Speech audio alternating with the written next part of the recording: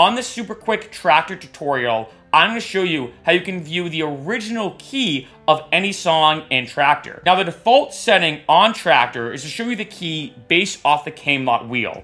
I'm not going to talk too much about that in this video, but if you're mixing in key, which you pretty much should be 100% of the time with DJing, this makes it a lot easier to follow. However, like I said, this is more based off the Camelot wheel, which makes it easier and quicker when mixing. However, if I want to view the original key of my songs, here's how you do it. You're going to go up to Traktor, go to Preferences, go to Analyze Options, then go to here, Displayed in Traktor, and I'm going to click Musical or Musical All Sharps. This is going to show you the key of each song, whether you want to see it in flats or sharps. I personally like seeing sharps.